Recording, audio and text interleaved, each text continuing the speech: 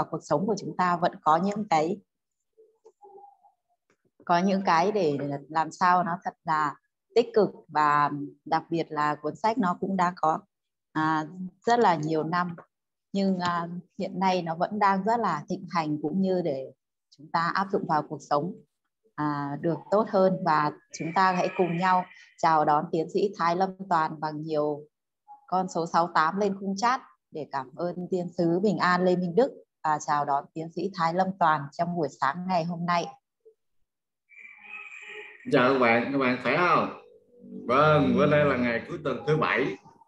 Thì uh, như thế này các bạn, tôi uh, tối hôm qua tôi suy nghĩ rồi và cũng có thảo luận rồi. Thì uh, tôi thấy rằng là từ thứ hai cho tới thứ sáu á, thì đọc sách của tôi, tôi viết ra đó là sách kế hoạch làm giàu á, những bí quyết thành công tuy nhiên uh, chúng ta cũng thấy rồi món ăn thì chúng ta cũng phải đổi màu khẩu vị đúng không? À, món ăn tinh thần thì cũng vậy cho nên tôi quyết định là thứ bảy chủ nhật tôi sẽ đọc một cái quyển sách khác của tác giả khác và nó có phù hợp với cái xu thế của mình ngày hôm nay. Thì hôm nay là tôi ờ, sẽ mời một bạn để đọc một quyển sách đó là người giàu người giàu nhất thành Babylon. Có nghĩa là thứ hai thứ sáu thì chúng ta đọc sách kế hoạch làm giàu và áp dụng bí quyết thành công của tiến sĩ Thái Lâm Toàn à, bữa nay là thứ bảy chủ nhật cuối tuần tôi sẽ đọc một cuốn sách khác. Đó là gì? Đó là người giàu có nhất thành Babylon. Và chúng ta dẫn Phật pháp cũ nghĩa là vừa nghe nghe người khác đọc và chúng ta ghi lên khung chat bây giờ tôi sẽ mời à, hôm qua thì tôi có tối hôm qua tôi có thể gửi lên trên khung chat của chúng ta một cái ebook là người giàu có nhất thành Babylon. Các bạn có thể à, xem trên đó. Nếu mà chúng ta có điều kiện thì chúng ta ra nhà sách chúng ta mua. Còn nếu không thì chúng ta sẽ đọc cái ebook đó và hôm nay thì à, tôi sẽ mời một giọng à, nữ đọc. Mà có thể chúng ta sẽ xoay vòng nhau đọc. Cho tôi thấy rồi tôi mà đọc không á, thì tôi phải đọc sách của tôi. Còn nếu mà sách khác á, thì phải nhờ một số bạn xoay vòng để bạn gì ạ? À? bạn có cái sự tập trung vào. Chứ không phải để tôi chỉ có đọc thôi. Bây giờ bữa nay tôi sẽ mời bạn à, Nguyễn Dung có thể đọc cái quyển sách là người giàu có nhất thành Babylon. À xin mời em ạ. Vâng em xin cảm ơn tiến sĩ Thái Lâm Toàn và để nói về uh, mọi người uh, muốn uh, đọc và chiêm nghiệm được cuốn sách này thì thật ra là bản thân em Dung cũng đã đọc rất là nhiều lần để với chiêm nghiệm được cái quyển sách.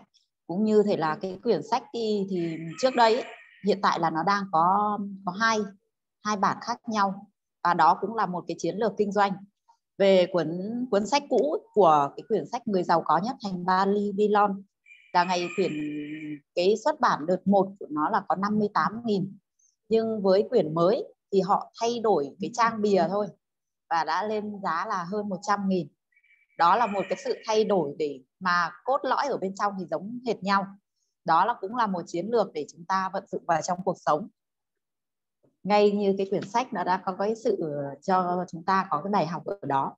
Và sau đây em cũng uh, xin uh, được đọc về cuốn sách người giàu có nhất thành Babylon thì uh, trước mắt là em sẽ tổng quan về quyển sách trước cho tất cả các anh chị có thể hiểu thêm về là chúng ta có được những cái gì trong cuốn sách này. Vâng ạ em xin phép ạ. Người giàu có nhất thành Babylon hơn 2 triệu bản đã được xuất bản. Bí quyết thành công của người xưa cuốn sách giới thiệu nghệ thuật làm giàu hấp dẫn từ xưa tới nay. Một cuốn sách xuất hiện vào năm 1920 có giúp ích gì cho các nhà kinh doanh và những vấn đề về tài chính ngày nay.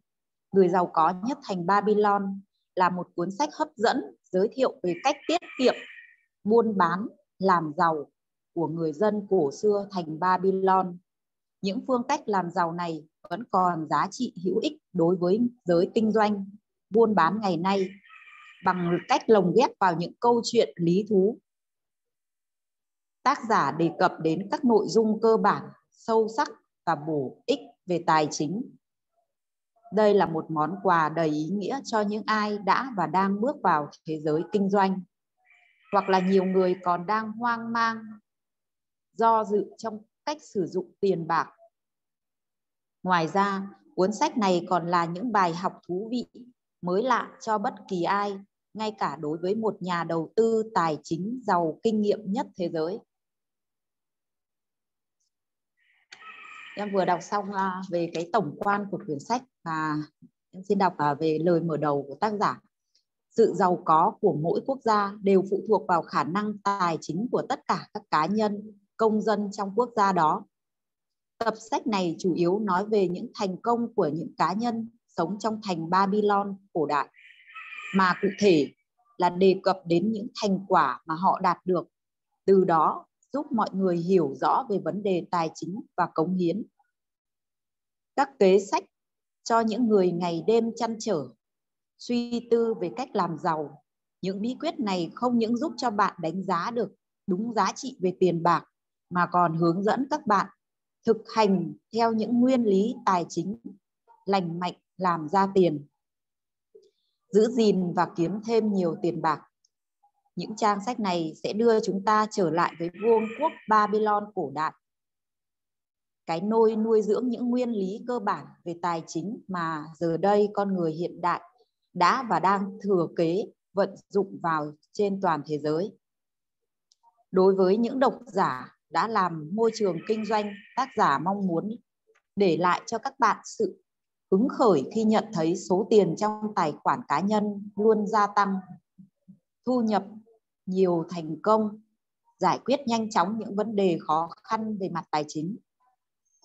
Đối với doanh nhân, những câu chuyện kể về những thương gia giàu có ở thành Babylon đã trở thành kinh điển và là bài học cho bạn. Chính các bạn, những nhà doanh nhân đã và đang thành đạt mới đánh giá hết được giá trị và các bài học trong quyển sách này và áp dụng những nguyên lý sáng giả nhất của nó để đem lại thành công trong chiến lược kinh doanh của mình.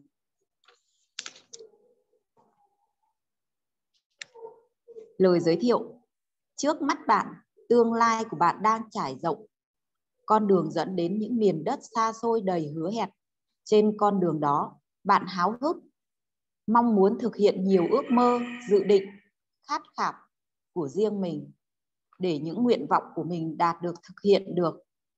Ít nhất bạn phải thành công về mặt tiền bạc. Vì vậy, muốn sách này ra đời, cuốn sách này ra đời nhằm giúp bạn biết cách vận dụng những nguyên lý quan trọng để phát triển về tài chính. Hãy để cuốn sách dẫn dắt bạn đi từ một hoàn cảnh khó khăn, tiêu biểu là một cái túi lép xẹp đến một cuộc sống đầy đủ và hạnh phúc. Tiêu biểu là một cái túi tiền căng, một túi tiền căng phòng và sung túc. Khi nói đến tiền bạc, chúng ta thường đề cập đến quy luật trong trường và nó luôn phổ quát và bất biến trong mọi trường hợp. Trải qua thời gian và phát triển, quy luật này đã được trải nghiệm và đúc rút thành những bí quyết không chỉ đảm bảo cho một cái túi tiền đầy mà còn giúp cho bạn có một cuộc sống cân bằng để phát triển mỹ mãn hơn trong tiềm năng của bản thân trong các lĩnh vực khác trong cuộc sống. Bởi trên thực tế, không ai có thể phủ nhận rằng sự dồi dào về vật chất có thể làm cho đời sống của con người trở nên tốt đẹp.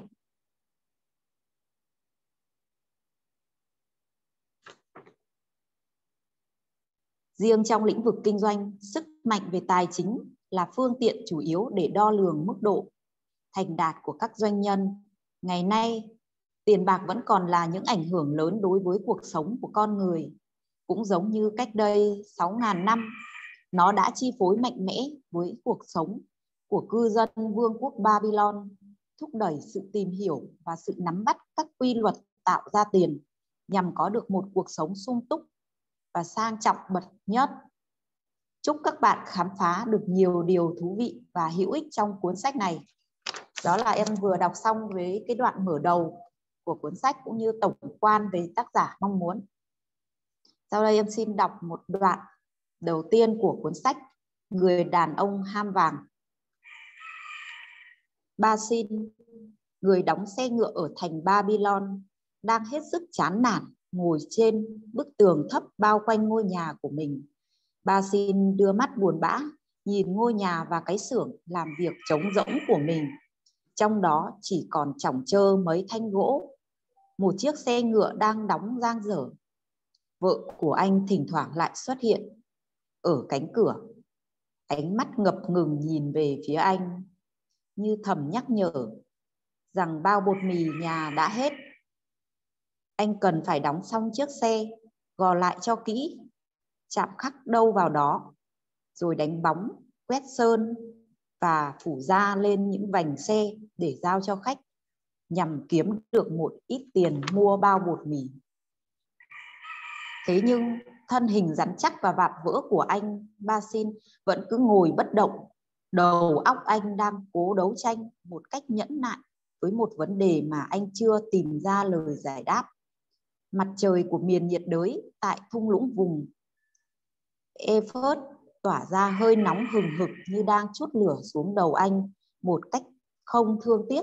Những giọt mồ hôi tươn ra trên trán rồi thản nhiên nhỏ giọt xuống, tan biến vào khoảng ngực để trần của anh.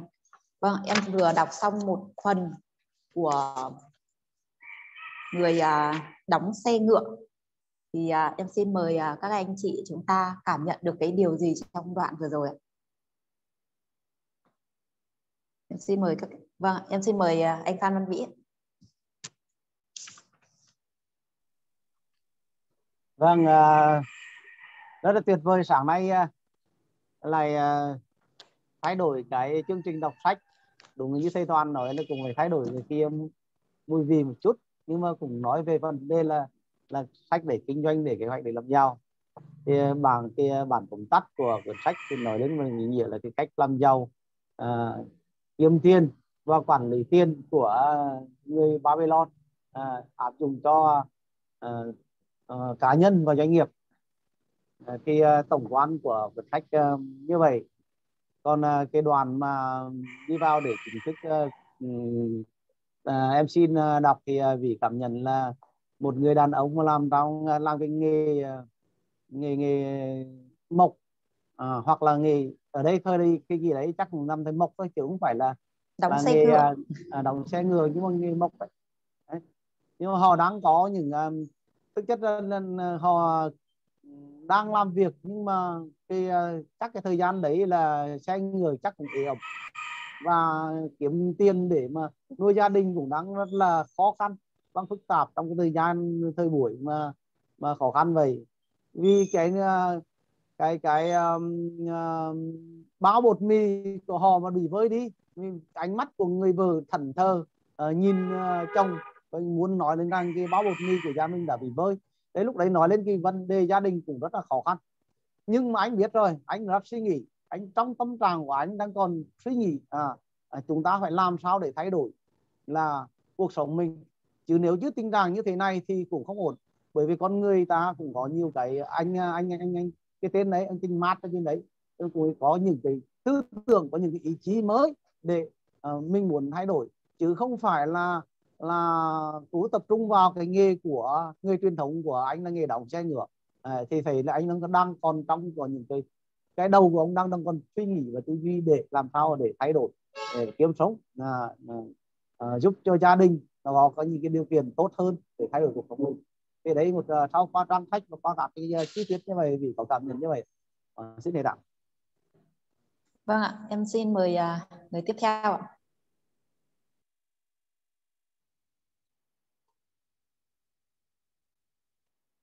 Vâng em xin mời cánh tay tiếp theo của các anh chị ạ. Vâng em xin mời chị Huệ. Đúng ngành nghề của chị Huệ. Chị Huệ bật mic lên chị Huệ. Rồi chào các anh chị.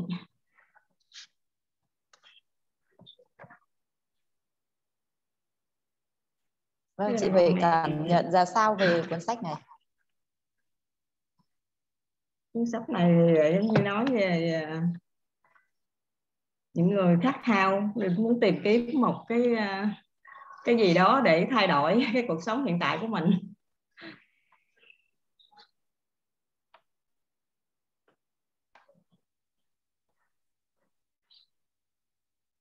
Như cái đoạn cho dung vừa đọc thì ờ, cái anh chàng này thì cũng ờ, đang suy nghĩ là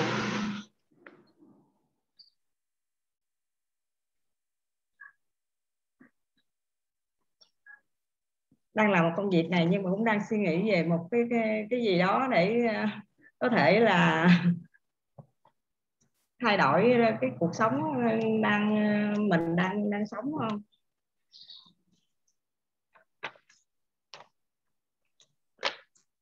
Vâng em à, cảm ơn chị Huệ. Vâng à, nó thật ra là cái quyển sách này chúng ta đọc cũng phải à, ngẫm nghĩ nó rất là nhiều vì vì, vì hiểu được có những ngôn từ họ sẽ dùng với những cái ngôn từ của người xa xưa nên là mình cảm giác là nó hơi khó nghe. Vâng em xin mời chị Ngọc Thúy ạ. Dạ. xin chào tất cả các anh chị em. À, chào thầy chào à, à, Nguyễn Dung. Hôm nay đọc sách hay quá.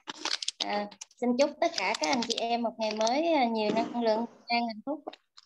À, thí sinh à, um, Ừ, phát biểu về cái cái quyển sách mà người người à, người giàu nhất trong thành Babylon. Là thấy à, thấy thấy là về quyển sách này nói về cũng nói về à, tài chính.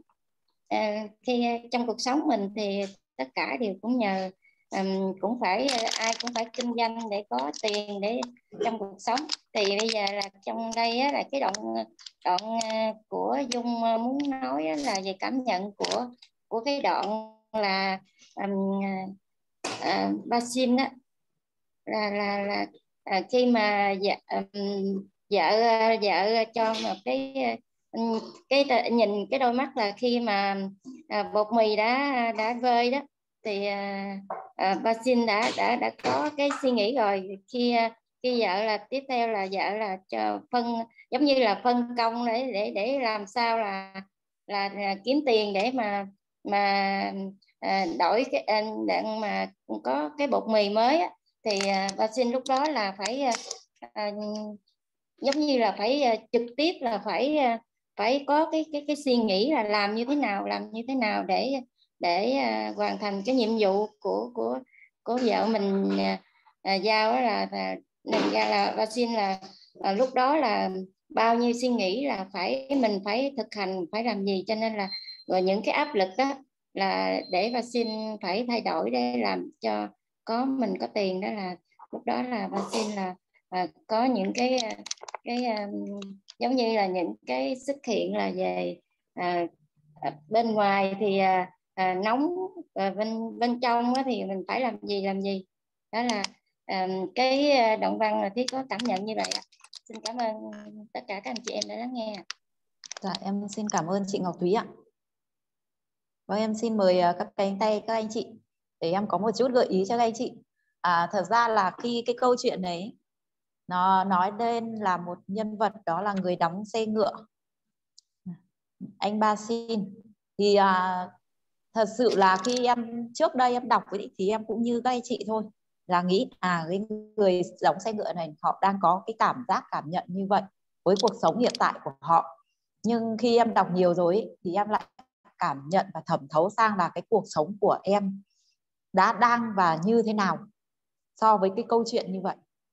Thì thật ra là kể cả bản thân em Dung cũng vậy đã có những lúc là mình có cái cuộc sống không khác gì họ luôn mình chỉ thay họ về cái mình chỉ khác họ về cái công việc thôi. Còn cái trạng thái của chúng ta thì nó có là của bản thân em đã có như vậy luôn. Vâng ạ. Thì à, em xin à, sự cảm nhận của các anh chị khác ạ. Em xin một sự cảm nhận nữa. Sau rồi thì em xin mời anh tiến sĩ Thái Lâm Toàn. Vâng cảm ơn em chi rất nhiều. À, quên những người đọc sách à, em Thanh Dung đọc sách rất nhiều. Thật ra cái câu chuyện này cho chúng ta thấy khi mà chúng ta làm kinh doanh trong khi mà chúng ta làm cách cũ thì nó sẽ không có kết quả mới. Và hiện tại đang cho thấy là anh ta đang bế tắc. Và giống như chúng ta liên tưởng đến kinh doanh chúng ta ngày hôm nay thì chúng ta phải dự trù về tài chính. Tài chính à, bột mì đây có nghĩa là tượng trưng cho tài chính. Tài chính chúng ta sắp cạn rồi à, chúng ta phải trả lương cho nhân viên. Đây đó là một chúng ta mở rộng thêm một tí xíu nữa. Thì như vậy thì chúng ta không có nguồn thu. Trong khi đó anh ta đánh xe ngựa đúng không ạ? À? mà xe ngựa là bị hư nó mới ghê đúng không? Cho nên là hiện tại bây giờ là dịch covid đang lan tràn như vậy. Thì bây giờ chúng ta làm truyền thống. Nó đang bị là sao ạ?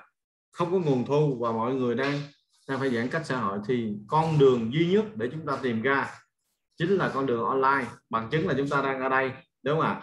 Cho nên là trong một cái bế tắc, trong cái nguy có cơ, nguy cơ mà, trong nguy có cơ, cho nên là tôi nghĩ rằng ở đây là cái đoạn này là chúng ta sẽ tìm ra nhiều giải pháp và phải đa dạng hóa nguồn thu nhập. Nghĩa là đa nguồn thu. Chúng ta phải thu vừa online, vừa offline, vừa truyền thống, vân vân. Thì như vậy thì chúng ta, doanh nghiệp chúng ta mới trường tồn và bền vững được. Rồi, xin mời các bạn khác cho ý nghĩa hoặc là MC có thể đọc thêm nữa đoạn này chưa có nhiều nữa đọc thêm nữa cho vâng. người ta cảm nhận thêm. Em em sẽ đọc thêm một đoạn nữa sẽ là có cái sự cho các anh chị so sánh. Xa xa ngoài kia bức tường cao chót vót bao quanh là lâu đài của nhà vua. Cạnh đó là ngôi tháp đền chuông đồ sộ được phủ sơn trắng toát. Bầu trời trong xanh của một ngày nắng đẹp trời như càng làm nổi rõ hai thái cực của cảnh vật nơi này một bên là những tòa lâu đài nguy nga tráng lệ của vương gia, còn một bên là những ngôi nhà tầm thường sơ sài nhếch nhác của người dân. Cuộc sống ở thành Babylon vốn là như thế, luôn có sự xen lẫn cái, giữa cái nguy nga và cái tồi tàn, giữa sự giàu sang, xa hoa và cái nghèo khổ khốn cùng. Giữa vòng tường bao bọc và bao đời nay, những điều này còn song song tồn tại trong những ngày này sang năm khác, từ đời này sang đời khác.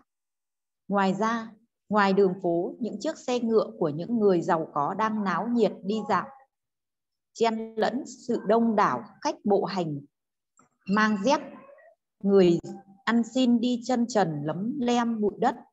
Bỗng từ xa, một đoàn người đông đúc xuất hiện, họ xếp thành hàng chỉnh tề mỗi hàng năm người và nối thành một hàng dài đường nắng chói chang. Đó là những nô lệ của nhà vua. Họ đang trên đường đi lấy nước để tưới cho khu vườn. Khu vườn treo độc đáo, lộng lẫy của vương quốc. Không chỉ những người nghèo mà ngay cả người giàu cũng phải nép sát vào hai bên đường để nhường lối cho đoàn người nô lệ này. Mải chìm đắm trong những suy nghĩ nặng nề của mình ba xin hầu như không để ý đến mọi thứ xung quanh, cho đến khi những âm thanh êm dịu của tiếng đàn lia vang lên bên cạnh mình. Anh quay lại, thấy gương mặt tươi cười của người bạn Kobe, người bạn thân nhất của anh, và những, là một nhạc sĩ tài hoa nổi tiếng về sự nghèo túng. Cầu cho thần thánh luôn hết lòng phù hộ cho anh. Anh bạn thương mến ơi Kobe mở đầu bằng một lời, một câu chào thật trang trọng. Vâng cầu cho cái túi của anh luôn căng phồng và anh bận rộn nhiều hơn trong xưởng làm việc. Do đó, anh sẽ không tiếc gì nếu trích ra hai đồng bạc nhỏ nhoi để cho tôi mượn. Và tôi hứa sau bữa tiệc tối nay của những người quý phái, tôi sẽ trả lại cho anh ngay. Anh có thể hoàn toàn yên tâm về lời hứa của tôi tôi chẳng tôi chẳng có nổi hai đồng bạc nào cho anh mượn, dù anh là người bạn thân nhất của tôi. Ba xin đáp, một cách u sầu. Anh biết đấy, tôi có hai đồng bạc, thì đó chính là cả gia tài của tôi, là toàn bộ tài sản của gia đình tôi, và chắc là không ai có thể cho mượn tất cả gia tài và tài sản của họ, ngay cả, đối cả với người bạn thân nhất của mình cái gì? Kobe hết sức ngạc nhiên kêu lên, anh không có nổi một đồng một cắt nào trong túi ư? Vì thế anh ngồi cho lên tường thành như một bức tượng vậy. Tại sao anh không đóng cho xong chiếc xe ngựa kia?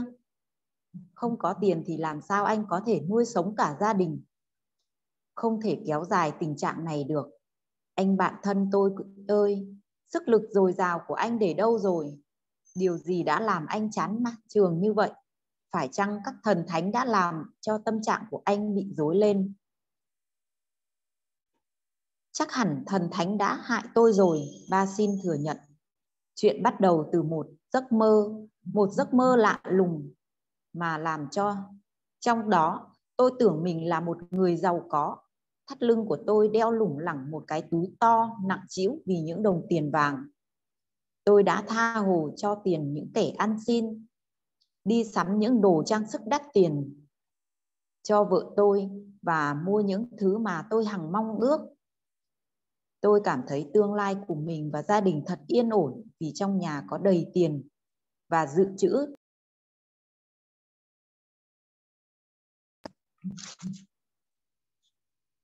Dự trữ trong các dương hòm. Tôi không còn là một người bạn thân làm lụng vất vả của anh nữa mà anh cũng không thể hình dung được người vợ của tôi trong giấc mơ đó đâu mặt mày cô ấy không còn nhăn nhó suốt ngày như lâu nay mà trái lại cô ấy lúc nào cũng tươi cười rạng rỡ và tràn đầy hạnh phúc và ngoan hiền như những ngày đầu chúng tôi mới cưới nhau vậy. Tôi vô cùng sung sướng với cuộc sống trong giấc mơ đó. Quả là giấc mơ mộng tuyệt vời, cô Bin nhận xét. Nhưng tại sao những cảm giác thú vị như thế lại khiến anh trở thành một bức tượng buồn so và ngồi bần thần như vậy? Còn tại sao nữa? Đó là vì khi tôi tỉnh mộng, nhớ ra là cái túi của mình đang lép xẹp, thì cảm giác bất mãn chợt ùa đến vây bọc lấy tôi anh bạn thân ơi, anh có thể cùng tôi nói chuyện về vấn đề này được không khi còn nhỏ, chúng ta đã từng cùng nhau. Các thầy tư tế để học sự khôn ngoan. Lúc bước vào tuổi thanh niên cho đến tận bây giờ, chúng ta đã cùng nhau chia sẻ những đắng cay, ngọt bùi với nhau và vẫn luôn giữ được tình trạng thân thiết. Thế mà nhìn lại đắng cay của chúng ta lại nhiều hơn hẳn với ngọt bùi ôi chao, những người khác, ôi chao, những người khách viễn du vẫn thường nói là chúng ta đang sống trong một vương quốc giàu có nhất trên thế gian. Nhưng tiếc thay, cả hai chúng ta không nằm trong những người giàu có, đã hơn nửa cuộc đời làm lụng vất vả và khổ nhọc. Chính anh, người bạn thân mến của tôi, vẫn chỉ có cái túi rỗng không đã lên tiếng mượn tôi hai đồng bạc nhỏ nhoi, còn tôi đã trả lời với anh như thế nào nhỉ? Tôi thú nhận với anh rằng cái túi của tôi cũng lép xẹp chẳng khác gì anh. Nguyên nhân tình trạng thảm hại này là gì nhỉ? Tại sao chúng ta không biết cách làm ra nhiều vàng? Hoặc ít nhất là đủ cho chúng ta ăn và mặc.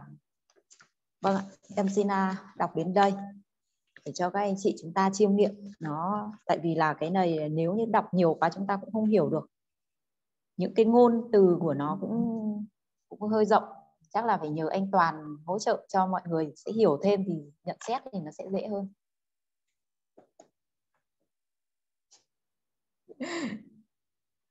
Anh em rồi mời các bạn đi. Các bạn đó bây giờ mình đổi phong cách mới được. Không? Tôi ngồi tôi phân tích nhiều quá. Các anh chị nghe các anh chị nói u cái này tôi biết rồi biết rồi. Anh chị phải phân tích đi. Đấy em xin mời thầy Quang thầy Quang có thể hỗ trợ cho tất cả các anh chị ở trong phòng Zoom được uh, hiểu thêm về một phần của cái đoạn em vừa đọc được không ạ? Em xin mời thầy. Tại vì là nó có nhiều những cái ngôn từ các anh chị chúng ta cũng chưa hiểu được.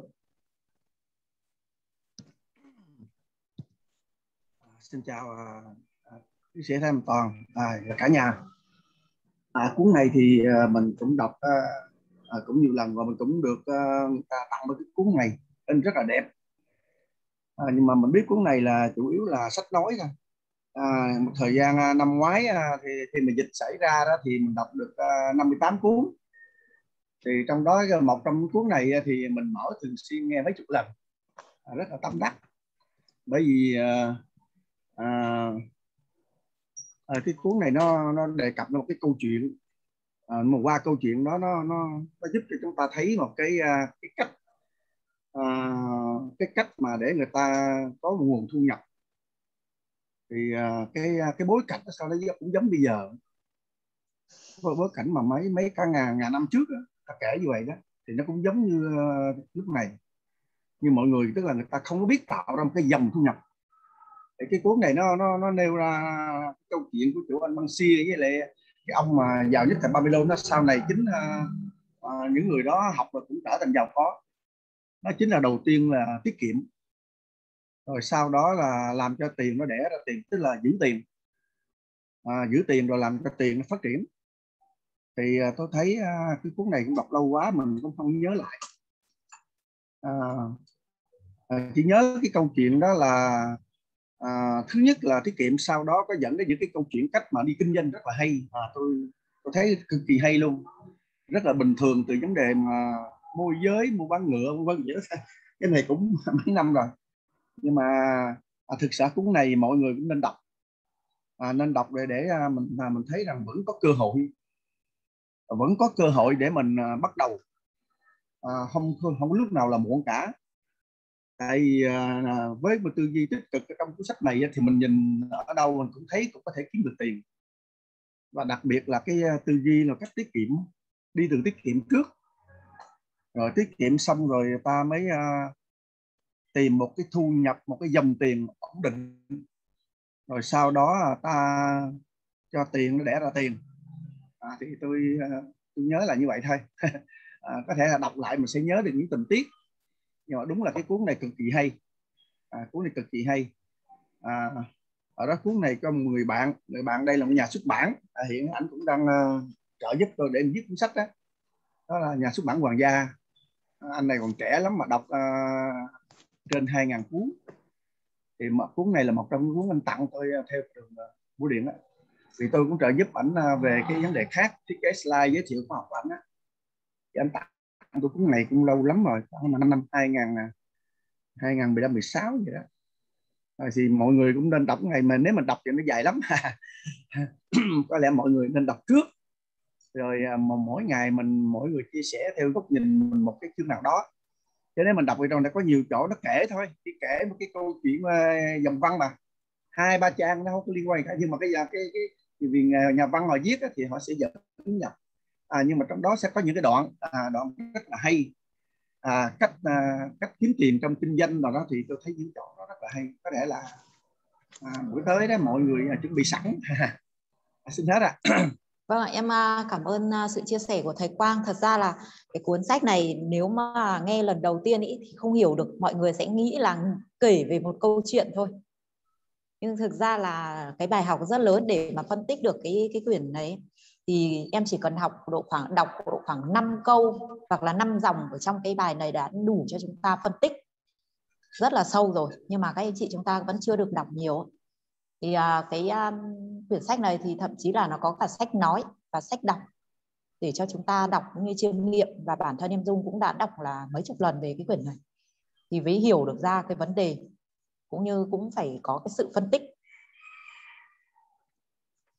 và đó là lý do là tại sao là có những lúc là các anh chị thấy là em có những cái câu nói nó khác biệt.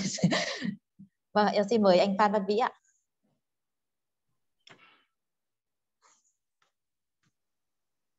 Rồi uh, anh Vĩ cơ đó. đây rồi dạ. quyển sách này thì vì cũng lần đầu tiên uh, nghe em Dung đọc. Nói về cái vấn đề là cái cách uh, người ta khắc cái khát khao làm giàu của uh, một người uh, Babylon à, thì um, cái trong cái đoàn uh, ờ, sách uh, bạn Dung đọc uh, vừa trên thì um, ở đây là vì thấy một cái điều là à, họ cũng là cố gắng đã làm việc rồi làm rất nhiều rất là nhiệt tình hăng say chịu khó làm việc nhưng mà cuối cùng cái túi của họ vẫn rộng à. thì họ đang đặt những cái vấn đề tại sao tại sao chúng ta chúng đã làm như vậy mà người thắng giàu được mở từ để mang cái tiếng là ở từ giữa một cái thành gọi là thành thành phố rất là giàu. Ờ, hoa lệ đầy vàng nhưng mà ta lại không có được nhiều vàng. Thì đang đặt. Và anh ta đang uh, ngồi ước mơ. Còn người ta NLP trong đầu mình á là nhìn thấy là cái cảnh là ờ, trong nhà mình là đầy vàng vàng đầy túi. Đấy, vợ thì đẹp. Đấy, con thì xinh. Đấy vợ đẹp. À, đang hưởng thụ cuộc sống giàu sang và họ đang mong ước. Họ cũng có phải suy nghĩ à tại sao chúng ta lại không ờ, được ước muốn như họ? Thì rõ ràng trong cuộc sống chúng ta cũng muốn để mà thay đổi, chúng ta muốn có cái gì thì chúng ta phải có cái sự ước mơ cái sự khát khao, cháy bỏng. À thực ra mà nói ở trong cuộc sống vì nhiều khi vì cũng thấy ở mình sống ở thành phố, nhưng mà nhiều lúc cũng bế tắc. Cái việc kiếm tiền sao khó thế? Thực ra vì cũng rất là khao khát nhưng mà mình phải nhiều cái kiếm tiền có nhiều khi nó bế tắc. Chứ không phải không. À nhiều khi mình nói bây giờ cuộc sống thế này mà nếu mà chúng ta không thay đổi thì thật mà cũng nghĩ là tại sao họ nhiều tiền mà mình thì làm không ra. Mình cũng khát khao mình cũng làm đủ thứ nhưng mà không ra tiền. Thì mình đặt tại tại sao? Thì chắc có lẽ đó mình phải vì do cái kiến thức của mình nó có những cái uh, mình chưa chưa, chưa, chưa gặp được thì uh, cái cái à, điều kiện tốt để mình phát triển. Nhưng còn cái tư duy thì mình cũng luôn luôn là khát khao. Mình nghĩ cuộc sống nhiều khi mình nhìn này tại sao mà cuộc sống người ta lại lại lại khó khăn như vậy. À, thì uh, giữa cái anh bạn ở đây ở thành Babylon thì họ cũng tâm nó cũng tâm trạng như như mình. Anh cũng tâm trạng như mình. Đấy. thì uh, họ uh, cũng muốn uh, uh, có thể nhiều cái cách làm mới để thay đổi cho cuộc sống của mình. Và đầu điều đầu tiên thì họ phải có cái niềm khát khao và ước mơ. À, muốn là đưa vào đầu mình những cái ờ, cái cái tư duy tiềm thức là phải thay đổi. Ờ, đấy thì ờ, trong ngày qua cái đoàn à, bản dung đọc thì mình có nốt lại mấy cái điểm như vậy. À, xin hết ạ. Vâng em xin cảm ơn anh Phan Văn Vĩ. Thì thật ra là để mà chúng ta hiểu được cái này các anh chị phải cảm giác như mình là có cái sự tĩnh lại tĩnh lại chúng ta nghe thì chúng ta mới, mới, mới liên tưởng được thì chúng ta mới hiểu được nó dễ hơn. Cũng như anh anh Vĩ là anh Nghi Vĩ đang hiểu được một chút rồi ạ. Vâng em xin mời chị Ngọc Anh. À, chào tất cả các anh chị đang có mặt ở trong room. Chào uh, tiến sĩ Thái Lan Toàn. À, buổi sáng hôm nay đổi gió. Đọc sách uh, rất là hay. Hôm nay nghe chị Dung đọc sách rất là hay. Và cái quyển sách này thì thật ra là mình cũng có nghe nhiều người nói nhưng mà đọc thì cũng là lần đầu tiên nghe đọc.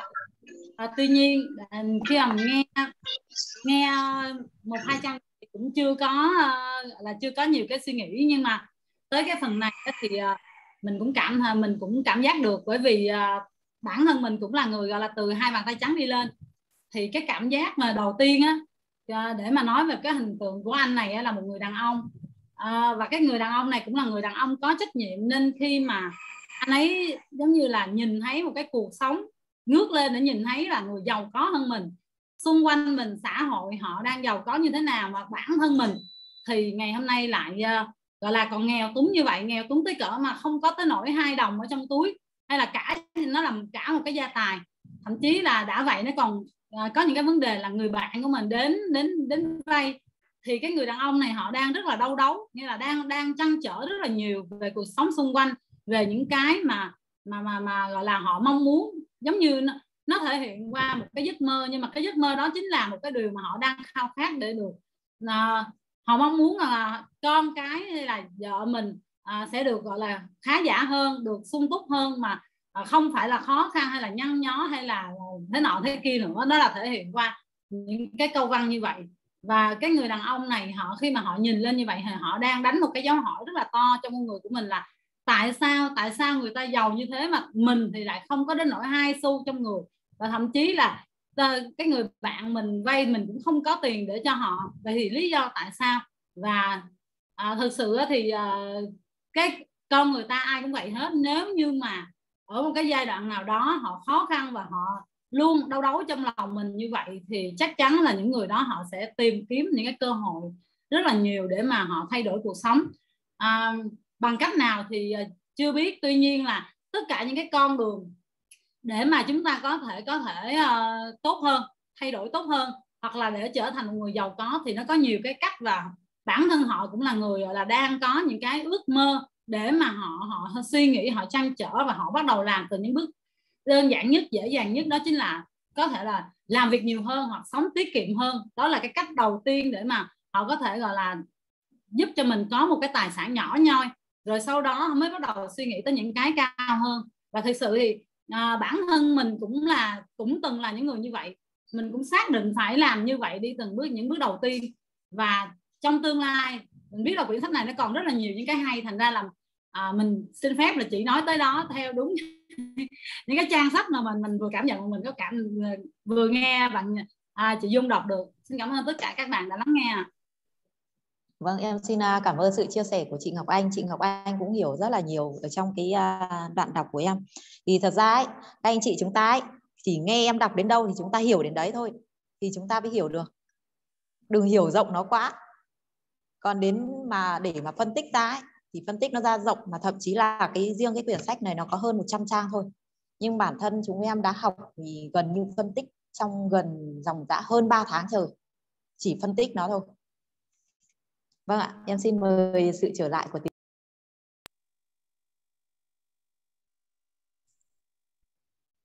vâng cảm ơn các bạn. Thì cái ờ, cuốn sách này nói về ờ, một người đàn ông thì chúng ta thấy rằng là rõ ràng là tôi suy nghĩ là người phương đông hay người phương tây thì người đàn ông vẫn là trụ cột, đúng không và người ta không tìm được tài chính để ờ, cho những người thân yêu cho mình có cuộc sống tốt nhất là một điều tệ hại đúng không ạ? Cho nên khi mà chúng ta có tiền thì mọi việc rất dễ dàng. Ô sáng mai đi uh, Macau đánh bài ăn phở rồi là bắt máy bay đi thôi đúng không? Hoặc là đi Singapore. Anh chị thấy cái thời mà tôi làm ngân hàng á đi Singapore giống như đi chợ luôn vậy đó anh chị. Cứ toàn là đi Singapore. Tại sao? Ở bên đó là thứ nhất là công nghệ thứ hai là tài chính. Ở đó làm ngân hàng á. Cho nên là lúc nào cũng đi cũng có nhiều kèo thơm đi. Nhưng mà khi làm thầy giáo rồi khi mà mình hết tiền rồi đó thì tự nhiên nghe tiếng cọp gầm. Anh chị có thấy là hồi xưa mà tôi mới lên thành phố tôi ở trọ ngay chân chỗ ờ, công viên á, thảo công viên á. Những lúc có tiền thì đâu đi chơi đâu có ấy đâu anh chị. Nhưng mà lúc mà cuối tháng hết tiền ở thời sinh viên tự nhiên sao nghe tiếng sư cử tử gồng tại mình ở kế gần công viên. Tối mình đâu đi đâu đâu. Mình nằm nhà, sao mình nghe cọp gầm nó trời ơi, hết tiền rồi nghe cọp gầm. Cho nên anh chị á, phải, tôi có một cái quan niệm là vậy có nghĩa là mình phải làm sao suy nghĩ ra kinh doanh coi như là mình hết tiền trong túi mặc dù có tiền. À, lúc trước tôi có đọc cái quyển sách là kế hoạch làm giàu áp dụng bí quyết thành công á thì anh chị phải có tài chính tiền mặt ở trong túi ít nhất là 2 tỷ. Còn vấn đề tìm 2 tỷ như thế nào á, thì phải bỏ tiền ra học nha.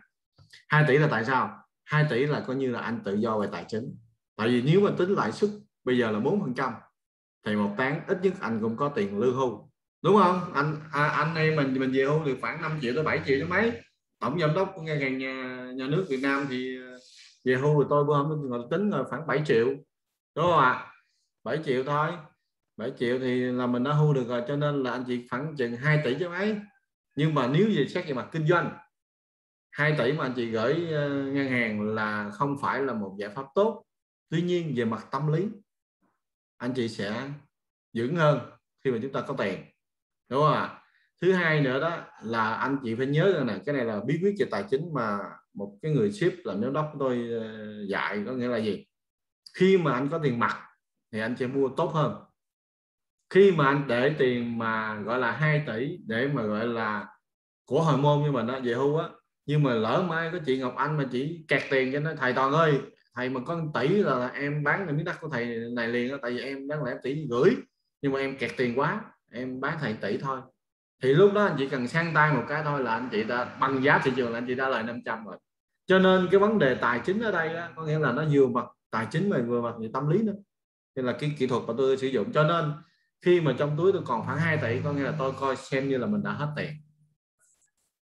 À, chị hiểu tôi nói không? 2 tỷ đó để giờ là coi như là lương hàng tháng mình nghỉ chơi mình không làm gì hết đó ở nhà uống cà phê chơi thôi đó, thì cũng vẫn có 5 tỷ 5 triệu tới 7 triệu để chúng ta xài.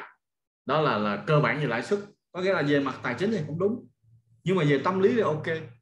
Nhưng mà là gửi trong cái tháng đó đó mà có người nào mà muốn bán một cái sản phẩm gì đó mà chúng ta sang tay trong vòng 3 ngày chúng ta lời chúng ta lại móc hai tỷ ra chúng ta chơi được. Chứ anh chị mà để giống như tôi là để bất động sản nhiều quá thì tại buổi này nè nhất là điểm này nè ngày 23 tháng 10 này nè 2021 là anh chị muốn thanh khoản muốn miếng bất động sản khó lắm mà không phải đơn giản. Cho nên ờ, tôi nghĩ rằng là quản trị tài chính là một cái nghệ thuật và một khoa học. Mà đã là nghệ thuật thì không có đúng không có sai. Chỉ có nhiều người được hay không nhiều người thích thôi. Đó đó là cái ý ý tưởng ngày hôm nay mà tôi thấy được cho trong đây. À, cái hình ảnh này cũng giống như tôi ngày trước. Là tôi luôn chăn trở. Tôi chân chăn trở là tôi làm bưu điện thành phố anh chị thì lương cũng cũng khá nhưng mà sao mối quan hệ cũng nhiều cho nên là phải đi giao tiếp đúng không rồi anh chị thấy là rõ ràng là cuối tháng chúng ta không, không có dư. Thậm chí mình xài thẻ ờ, tín dụng mình xài còn âm nữa. quá đà anh hai lúa miền tây mới lên sài gòn. Đó mà phải tạo dựng mối quan hệ cho nên phải nhậu nhiều. Cho nên là khi mà chúng ta nghèo thì chúng ta xài cho người giàu. Khi mà chúng ta giàu và thành công thì chúng ta không bao giờ xài tiền. Thiệt luôn á tôi nói này là thiệt đó là sự chiêm nghiệm của tôi ví dụ bây giờ tôi đi ra ngoài đường mà mấy cái doanh nghiệp khác mà tôi thầy dạy thì tôi không bao giờ trả tiền. Tại vì sao? Thì không phải mình không muốn trả tiền mà rõ ràng là họ dành trả không à. Để họ tạo mối quan hệ họ để họ để nghe những lời tư vấn của tôi. Cho nên tôi là anh chị thấy là tôi đi uống cà phê với đi ăn trưa là không bao giờ trả tiền. Đó là đó đó, đó là thực tế. Không phải mình mình tiết kiệm hay hà tiện nhưng mà người ta không cho trả tiền. Tôi uh, chia sẻ anh chị đó là tôi toàn đi về uh, miền tây toàn đi dạy là về. Đi về, đi dạy ba ngày, hai ngày, cuối tuần về là cầm tiền ờ, giảng dạy về. Tiền khách sạn thì không bao giờ trả. Chuẩn bị về tới dưới là nó đã có người đón rồi, là em cho thầy 10 phút, thầy để đồ lên khách sạn để chi? Rửa mặt, ra quán nhậu. Anh chị thấy không? Rồi sáng sớm là nó đã tới trước cửa nó gõ. Đấy, anh chị thấy không? Không được xài tiền. Mà được đem tiền về mà còn được mang quà về, nó mới ghê. Cốc xe lúc nào cũng đầy đủ gà vịt trái cây gì tùm lum tức là anh chị thấy không? Khi mà chúng ta bởi vì chúng ta phải cố gắng làm giàu. Khi chúng ta giàu là chúng ta không bao giờ xài tiền. Mà người khác xài cho chúng ta. Đó đó là cái cái cái ý mà mình đọc được cái phút này. Thì bạn dung có thể đọc thêm nữa đi ạ. À. đọc thêm cho nó cho nó hay tí xíu.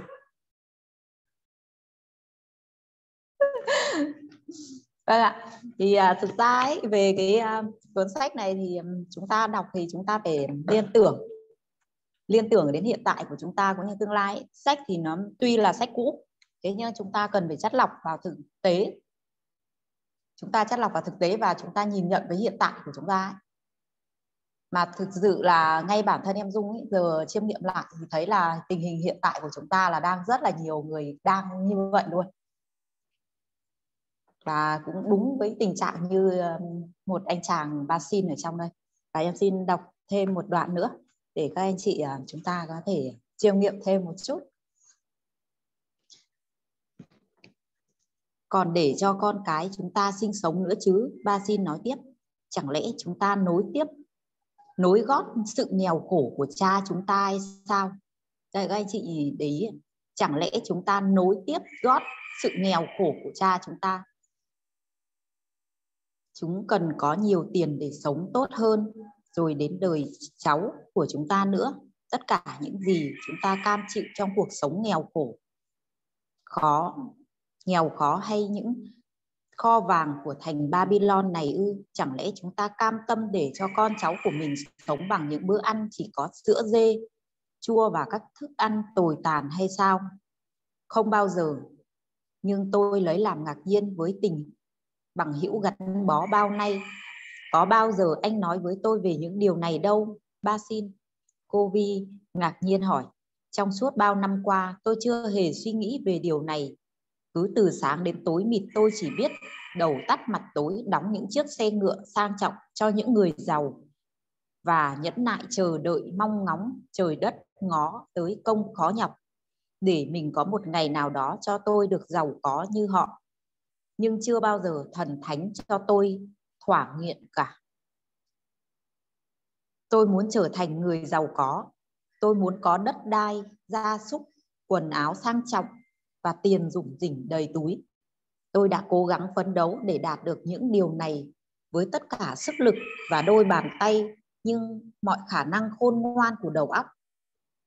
Cho đến bây giờ, cả tôi và anh vẫn không thoát khỏi đói nghèo cái túi của chúng ta vẫn luôn xẹp lép chúng ta phải làm gì bây giờ? Tại sao chúng ta không thể chia sẻ sự may mắn, sự giàu có với những người đang sở hữu nhiều bạc nhỉ? Ước gì tôi có thể trả lời được câu hỏi này của anh. Cô vi đáp, cuộc sống của tôi có hơn gì anh đâu. Số tiền tôi kiếm được nhờ cây đàn lia cũng nhanh chóng hết. Tôi phải thường tính toán bằng cách khoản chi tiêu cho gia đình không bị đói, không biết bao giờ mới đạt được ước mơ có được cây đàn lia lớn hơn để có thể gảy nên những, để có thể, để có thể gảy nên những nhạc mà tôi ao ước. Với một nhạc cụ như thế, tiếng nhạc của tôi sẽ tinh tế hơn nhiều, hơn cả lần tôi gảy đàn phục vụ nhà vua. Một cây đàn lia chẳng mấy chốc anh cũng có được thôi không một ai ở thành Babylon này có tài làm cho giai điệu trở nên ngọt ngào hơn anh. Basin nói.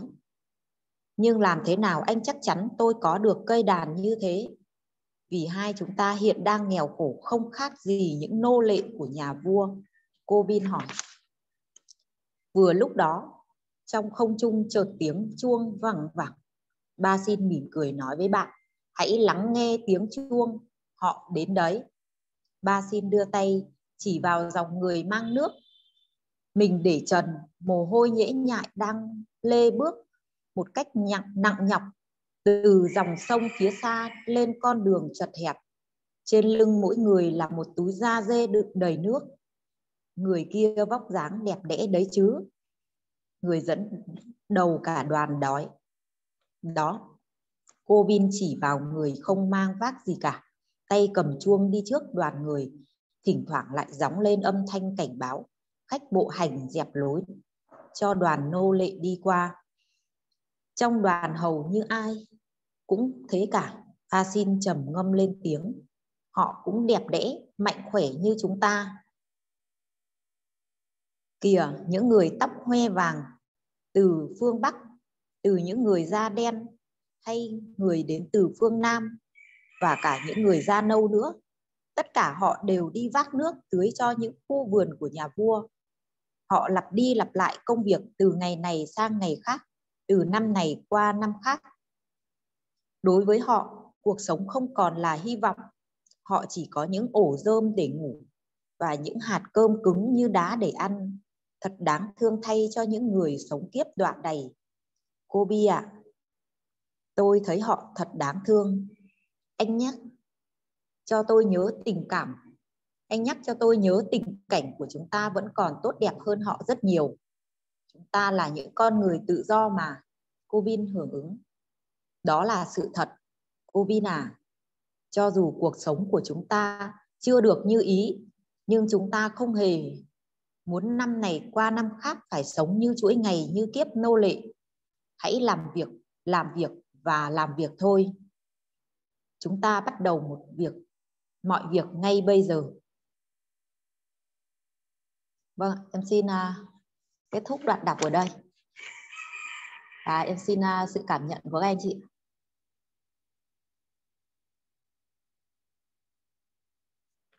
các anh chị phải lắng nghe thì mới, mới, mới hiểu được. Vâng em xin mời chị Ngọc Anh. Chị Ngọc Anh em cảm nhận được chị Ngọc Anh hiểu rất được nhiều. Em xin mời chị Ngọc Anh trước à qua mấy đường ra được cảm nhận cho đến đường ra cảm nhận cho. Vâng. Đây đến đường cảm nhận. Cặp đôi hoàn hảo anh đưa đi tập thể dục về rồi. Hả dạ vâng em tập tập em ngồi gần đây em chạy bộ bộ gần nhà gần đây mà. Và vâng thực ra cái câu chuyện là chả phải nói em nghe không hết thực ra cái, cái, cái sách này ngày xưa em có nghe và cũng nghe mà nhưng mà thực ra cái, cái câu chuyện trong cái sách này nó cũng gần gần như giống ờ, đường ạ. À, nhưng mà lúc nãy thầy phân tích rất kỹ rồi. Ngày hôm qua đáng đừng giơ tay á đừng nói cái câu rất giống với nội dung của thầy. Thực ra về về cái nguyên tắc tài chính á à, hồi xưa em cũng hay ngồi gần những người hoa. Và anh ruột của em thì cũng nói là thực ra bạn không có tiền thì bạn không thể làm gì được. Và rõ ràng cơ hội ngay bên cạnh á nhưng mà bạn không bao giờ làm được. À, em nói ví dụ. À, cái, cái như bọn em làm đất đi. Ừ, hôm nay có lô bên cạnh. Có thật sự là mình chỉ cần làm một cái thôi khoảng 3 ngày thôi bằng người khác làm nếu làm công nhân làm một năm. Nhưng thực ra cái triết lý đó nếu mà mình mình không ở gần những người giàu không ở gần những người ví dụ chẳng hạn như thầy toàn lúc nãy kể câu chuyện lúc nãy á, thì chắc chắn là không bao giờ biết. Họ phải đi làm rất vất vả. Có nghĩa là một ngày 8 tiếng và làm tới một năm trời bằng cái người người ta làm trong vòng 3 ngày. À, thực ra mình lật lại vấn đề nếu mà ai cũng nghĩ được như vậy thì tất cả thì giàu hết rồi. Thì bản thân đường cái câu chuyện của anh này cũng giống như đường thôi. À, thực ra mình hồi xưa là mình là một con trai ở Hà Nội vào Sài Gòn mang đến nhà mình rất nghèo nhưng mà à, gia đình nhà mình thì nổi tiếng. Ông già ngày xưa là cũng à, cũng có là gia đình này nọ. Và con ông viên cháu ông đồ ông rất là tự hào về dòng họ rồi rất tự hào là mình thì chơi những bạn bè rất là giàu có cũng đang quần lão lừa suốt ngày đóng thùng. Thì thực ra vào trong ngành may mặc anh chị biết rồi đấy thời đó người Sài Gòn người ta gần như không đóng thùng. Mình suốt ngày đóng thùng. Ờ, đồ đạc thì, thì nhà thì ờ, ông ông già nó quen rồi nên mặc đồ cũng hay xài đồ hiệu quen. Rất là nghèo nhưng mà đặc biệt bố mình á, là có cái tính là không sợ ai mua món gì thôi. Đã mua món gì á là phải ra món nó dẫn sợi vào anh ruột mình trong này thì khá giả nữa cũng y chang như vậy và các anh chị thấy có cái cảm giác gì em khi mình đi cái công ty á thì mình gần như lạc lõng. À, mình đóng thùng này à, mình đi giày à, dép rất là xịn rồi những đồ mình rất là xịn. Bắt đầu mình bị lạc lõng. Cái lạc lõng là gì ạ? Mình cười mình đùa vui vẻ mà 18 tuổi mà. Nhưng mà chỉ một tháng sau thì bắt đầu tắt nụ cười. Đó là gì không? Lương á là lúc đấy là gần như thấp nhất công ty. Và cái cảm giác bị người khác cười á à nó sốc sốc toàn tập và cái cảm giác thứ hai ấy, là bắt bắt đầu thời điểm đó thì à, người Sài Gòn và đặc biệt chị dâu mình hồi đó thì bắt đầu người ta rất coi thường người Bắc lắm. Coi rất rất là coi thường người Bắc. Và chính cái điều đó là bắt đầu làm cho mình mình lúc nào cái con mắt mình bảo nhất định phải làm nên. Đó là do bắt đầu từ tháng thứ hai bắt đầu phấn đấu. Thì làm sao phấn đấu giỏi ngay được anh chị? Thực ra với ông mình mình tay nghề thì không giỏi thì không thể lương cao được. Và bắt đầu chỉ có một cách là mình làm nhiều hơn người khác thay vì người khác là 8 tiếng thì mình làm có thể anh chị biết là gần như 20 tiếng. Có nghĩa là ngày nào được cũng để một bộ thùng đồ trong công ty á. Và người khác không chịu tăng ca thì mình tăng ca. Và anh chị biết là cứ dần dần dần như vậy. Bắt đầu mình làm, lương mình cao lên, bắt đầu mình có tiền, bắt đầu mình vượt qua tất cả những người kia trong công ty. Và lúc nào cũng đứng trong top 3 trong công ty là lương cao nhất trong công ty. Nhưng mà anh chị biết không? Cứ ước mơ là là nhìn thấy anh anh ruột mình có những cái sợi dây chuyền vàng rất là to. À mình ước mơ là nhất định mình kiếm tiền xong mình sẽ mua được dây chuyền. Nhưng mà chính là như thầy toàn nói là bây giờ nhờ mình đọc sách. Mình hoãn sự sung sướng. Đừng hay chọc đùa gọi này. Hoãn sự sung sướng đấy lại. Hồi xưa đừng có hay có câu đó. Tại vì nếu đúng theo phong cách kiểu hà nội à là nhất định là biết ông phải quần láo lượt, nhất định phải là có sợi dây chuyền rất đi ra đường xe xuống người khác. Nhà, và lúc ấy đường vào sài gòn và đường biết là biết ông nếu không có tiền thì không bao giờ, ví dụ có cơ hội đến cũng mãi mãi không có. Và mình hoãn sự sung sướng nó lại là gì? Biết không không bao giờ mua sợi dây chuyền nữa. Và đồng hồ cũng không mua đồng hồ gì nữa. Và từ đó đồng tích kiệm tiền. Và anh chị biết ông nhờ đọc sách. Và 4 năm trời đường gần như không quan hệ với bạn bè. Vì sao ạ? Vì quan hệ với bạn bè lúc đó là bạn bè mình toàn người giàu có. Mà mình quan hệ thì mình phải biết rằng mình đang đứng chỗ nào. Và 4 năm gần không quan hệ, không giao lưu lại. Và sau 4 năm đấy thì được cái gì? Và sau 4 năm mình về về Hà Nội thì mình cũng là thuộc nhóm khác biệt vì vì mình nói thật sự anh chị các bạn có thể nhiều tiền nhưng mình là người kiếm ra tiền. Là lúc đó là đã tương đối có nhiều tiền rồi. Đó là lý do tại sao 24 tuổi là bọn mình đã tiết kiệm. Mình mua được nhà ở đất Sài Gòn rồi. Cho nên thực sự như thầy đoàn nói rằng nếu có cơ hội nếu thực sự là mình mình về nguyên tắc tài chính á có cơ hội ngay bên cạnh nhưng bạn không biết tích lũy á, thì mãi mãi là không. Và bản thân những à, và cái trong cái câu chuyện của trong sách này và không có khao khát á, không bao giờ làm được trên à, thực sự là bản thân mỗi con người ấy, trong trong trong lòng phải khao khát. Mà khao khát có một cái mà của người Hà Nội á, người Bắc á, à, cái bệnh này là là có thể là rất nhiều người nói ra là uh, hơi sốc. Hồi xưa mình hay dạy công nhân của mình và mình hay nói với mọi người một câu này. À, bây giờ cái câu đó mình ít nói chứ còn cái câu đó gần như lúc nào mình cũng mở miệng ra là mình nói. Là bệnh sĩ chết trước bệnh tim. Chỉ có có nghĩa là sự sĩ diện đó chết nhanh lắm và những người sĩ diện đó là không có tồn tại lâu dài. Bạn có thể xuống cái lúc đó, nhưng bạn sẽ không tồn tại lâu dài. Còn khi bạn đã đủ đẳng cấp rồi, lúc ấy bạn có có thể, như thầy toàn nói, có thể bạn dư ra một số rồi, thì có thể là bây giờ tôi tiêu rất là ít tiền, nhưng mà lúc đó là bạn cũng, người ta nhìn vào bạn cũng cảm thấy rất là đẳng cấp.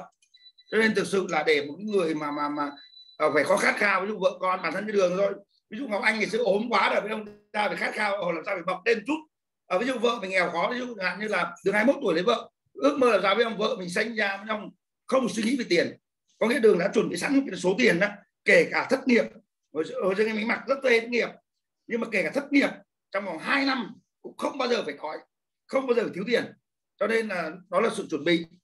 Nên mình mình à, nghĩ rằng là những cái trong trong sách này anh này anh cao cát đó, thì à, mình vào chính cái câu chuyện của mình và câu chuyện của tất cả những người đàn ông đó, tuổi trẻ, cho nên phải chấp nhận hy sinh tuổi trẻ. Không ai không muốn cái này, không muốn cái nọ. Nhưng nếu bạn hy sinh 4 năm, nhưng mà được mãi mãi, đó là sự khác biệt. Bạn hy sinh 10 năm 20 năm, hồi xưa mình vẫn nói vợ mình làm làm doanh nghiệp đấy. Khi mà làm doanh nghiệp bọn mình rất vất vả, rất khổ cực. Nhưng khi mà khó khăn mình luôn nói với vợ mình rằng, đó là sự khác biệt giữa người công nhân và người chủ doanh nghiệp. Nếu mình làm cái gì đến khó khăn thì mãi mãi là không.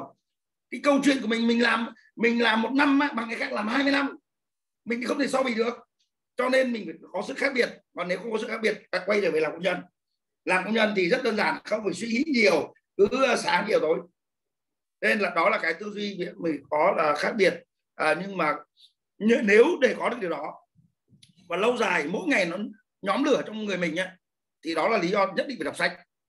À thực ra bà xã mình giờ này nghe đọc sách đấy. Ngày xưa là không bao giờ đọc. Nhưng mình nói là với ông không đọc sách ấy, nó không có nhóm lửa mình. Tại vì mỗi một lúc á à, ví dụ mình thích cái gì á, mình muốn muốn muốn lắm nhưng mà ra ngoài thì cần vô tình á là mình quay về trở về trạng thái bắt đầu ngay.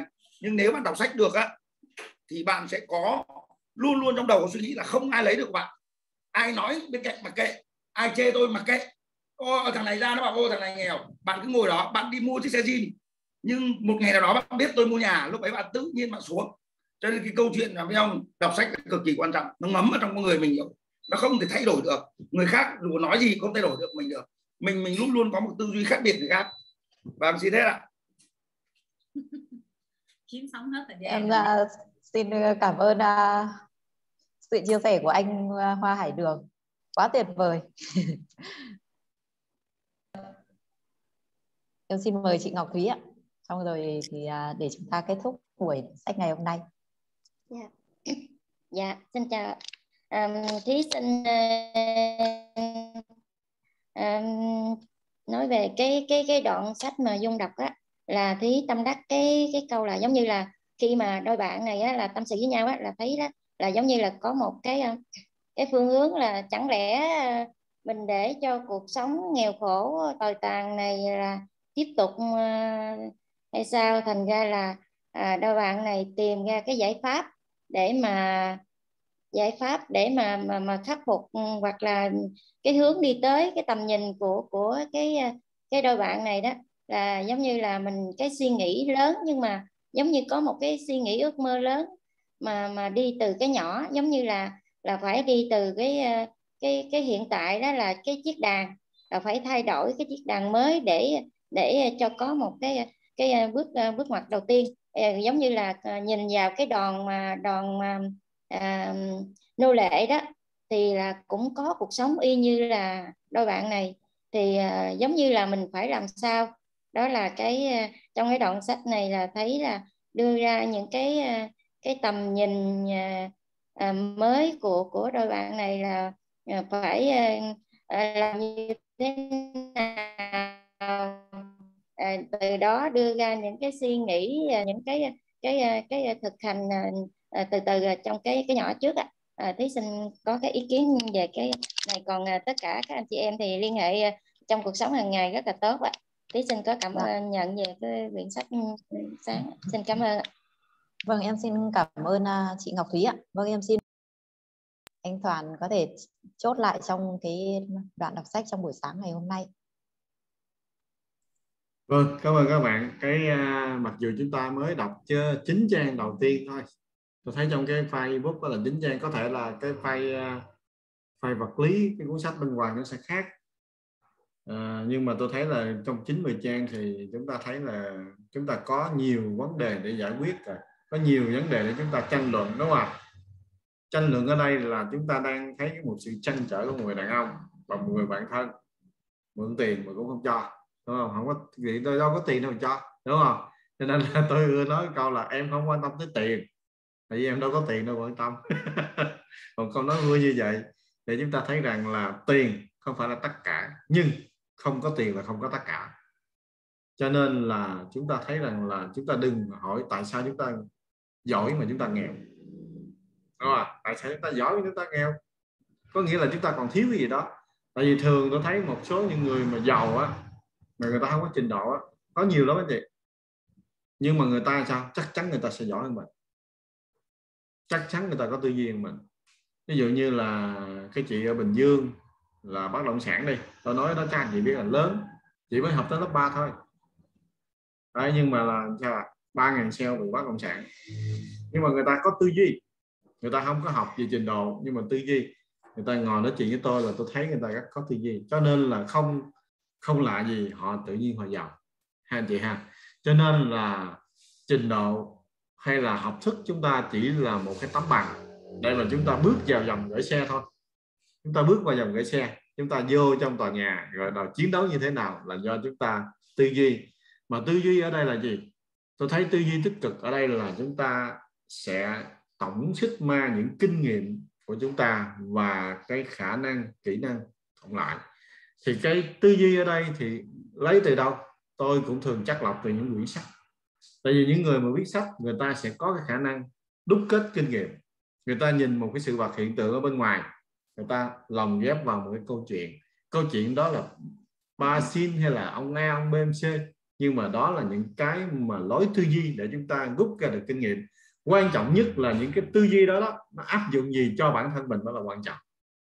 Cho nên là anh chị thấy là chúng ta có thể có tiền mua được một ngàn quyển sách nhưng vấn đề ở chỗ là làm sao đưa được một ngàn quyển sách đó vào đầu mới là quan trọng. Và quan trọng nữa là làm sao một ngàn quyển sách ở trong đầu đó rồi làm sao ứng dụng thực tế càng quan trọng hơn.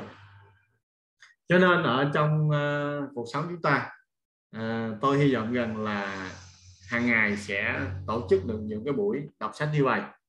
Có thể đâu đó anh chị có thể cảm thụ được 10 phần trăm hoặc là những nào người nào đó cảm thụ 5 phần trăm nhưng mà giải quyết được vấn đề bài toán chúng ta đã đã tốt rồi.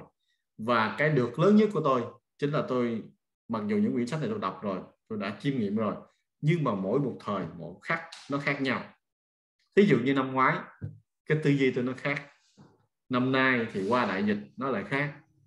Cho nên là cái việc mà tốt nhất tôi cảm thấy là tôi lựa chọn cái nghề đào tạo để mà tôi đọc sách và review lại, thì đó là một cái tốt nhất cho tôi là học hàng ngày cho nên tôi hy vọng là anh chị mặc dù là rất bận rộn anh chị thấy không là chúng ta làm lụng cả đời không bằng lựa chọn tuyệt vời đúng không ạ? Chúng ta phải lựa xong rồi chúng ta mới chọn. Cho nên là có khi là những người rất là bận rộn làm quá trời như hồi nãy anh qua, qua hai đường nói đúng á anh chị tính đi tất cả đều là con số toán học hết. Chúng ta đừng có nói là học phổ thông là không có không có ý nghĩa nha anh chị. Bây giờ ví dụ như trung bình một tháng bình thường một người dân là thu nhập là 10 triệu. Thì một năm là 13 tháng. À, nói tới đây anh tưởng tôi nói sai nha không có. Một năm là 12 tháng nhưng mà cộng cho lương thứ 13 là 13 tháng cái gì nữa đúng không? Doanh nghiệp nào bảnh tỏn là chúng ta maximum là 130 triệu đúng không? Cộng trừ cho chúng ta thưởng à, ABC nó đi là trăm rưỡi triệu. Cho nên anh chị làm kinh doanh mà kiếm được tháng một năm được 200 triệu là chúng ta lợi rồi. Mà chúng ta tự kinh doanh chúng ta sẽ sao? Sáng 7 giờ không phải coi đồng hồ giống như tôi bây giờ tôi không có coi đồng hồ à thích thì tôi gọi điện cho lính nó tự làm làm thôi. Ờ, mình ngồi nhà thôi bây giờ tôi cảm thấy ở nhà là là hay hơn. Cho nên là chúng ta đi ra ngoài đường thì là rủi ro nhiều xe cộ. Thứ hai là dịch bệnh thứ ba nữa là đủ thứ chuyện trên đời. Nhưng mà ở nhà thì ngồi zoom giải quyết vấn đề. Anh em cần thiết chạy lại nhà ký xong. Cho nên là chúng ta thấy là chúng ta tư duy làm sao giống như anh qua hai đường nói đó, một năm chúng ta kiếm được 200 triệu là chúng ta ngon hơn người làm công chức bình thường rồi 10 triệu 12 triệu lương thủ tướng bây giờ có 12 triệu thôi anh chị. Cho nên là chúng ta là làm mà chúng ta kiếm được năm mà 300 triệu là chúng ta đã lương ngon lương thủ tướng rồi. Cuộc sống vẫn đẹp sao sáng tập thể dục thể thao 5 giờ thức dậy tập thể thao 6 giờ 15 nghe ông toàn đọc sách. À, cho nên là tôi hy vọng là cái à, cái buổi đọc sách của chúng ta sẽ có những cái sắc màu. Anh chị có một cái rào cản tôi cảm thấy vậy nè. Anh chị cứ thoải mái phát biểu. Ủa tôi đâu có bắt lỗi đâu anh chị hiểu không? Và người ta người ta cũng không thể nào bắt lỗi của anh chị, tại vì góc nhìn của anh chị là 15 độ. Góc nhìn của anh qua hai đường là 30 độ, góc nhìn của chị Ngọc Anh là 45 độ, góc nhìn của tôi là 180 độ, kể cha tôi, đúng không? Tôi nói bình thường giống như mình đang học dụng, đúng không? Cho nên là chúng ta không có gì đúng, không có gì sai, đã là nghệ thuật và là kỹ năng là không có đúng, không có sai, mà là nhiều người ủng hộ hay là không ủng hộ. Cho nên đó là nghệ thuật. Cho nên anh chị cứ thoải mái, anh chị cứ phát biểu thoải mái, người Việt Nam của chúng ta đó tôi đi học ở nước ngoài tôi thấy á, người Việt Nam mà kém hơn người nước ngoài các bạn khác là gì à? Không dám không dám phát biểu lên ký tưởng của mình. Thứ hai nữa là không dám hỏi thầy. Tôi là tôi đặt cái phong cách là tôi mà đi học và tôi gặp nào dạy là tôi hỏi tới bến luôn. Tại vì mình gặp chuyên gia lâu lâu mới gặp và phải móc kiến thức của ông bỏ túi của mình. Mình phải hỏi cho tới nào khi lòi ra vấn đề thì thôi. Thậm chí mình thử ông thầy luôn xem ông có đủ bản lãnh để ông dạy mình hay không. Đấy cho nên anh chị phải học mỗi lúc mỗi nơi là vậy đấy đá qua đá lại mình trả lời đá qua đá lại mình dẫn dắt hồi là mình lùa nó vô nhà đóng cửa xử luôn. Ví dụ vậy. Đó anh chị phải làm như vậy. Để chi là cho cái cho chúng ta có nhiều bài học. Tôi thấy ở đây có ai rất nhiều người là có kinh nghiệm lắm nè. À, nhưng mà chúng ta là còn hơi e ngại. Cho nên là tôi nghĩ rằng ngày mai ngày mai nữa đúng không? Chủ nhật anh chị nghe đọc là anh chị phải có tư thế. Tại vì tôi đã chuẩn bị sẵn cho anh chị rồi. Anh chị không có điều kiện mua sách thì chúng ta có cái file ebook còn nếu chúng ta có điều kiện mua sách thì chúng ta cứ nên mua mua một quyển sách không sao cả anh chị. Chúng ta nhậu chúng ta dám nhậu mua quyển sách có một trăm ngàn không dám mua. Cho nên là chúng ta hành đọc sách xong chúng ta có cái highlight nữa chúng ta like vô. Và sách nó sẽ hay. Sách nó rất hay. Sách là anh chị sẽ đọc xong rồi đọc lại. Đấy, đọc lại. Còn tôi thì tại tôi phái cái ebook. Tại tôi tôi phái ngồi máy tính hơn cho nên mỗi người có một phong cách. Rồi hôm nay là đã trễ giờ lắm rồi. 7 giờ 30 rồi à, lời kết cho buổi hôm nay thì xin chúc cho anh chị có nhiều sức khỏe. À, và vui vẻ hạnh phúc và ngày nghỉ cuối tuần luôn luôn tràn đầy sức khỏe. Và chúng ta nhớ rằng là 9 giờ 9 giờ sáng này chúng ta có quán cà phê. À, chúng ta sẽ tiếp tục trong quán cà phê nữa. Bạn nào mà muốn tham gia quán cà phê thì hãy liên hệ với em Dương xinh đẹp. Rồi xin trân trọng cảm ơn. Vâng ạ, xin uh, chào và hẹn gặp lại tất cả các anh chị chúng ta vào 6 giờ 15 sáng ngày mai. Chúng ta lại tiếp tục cuốn sách Người giàu có nhất thành Babylon. Chào, hẹn gặp lại.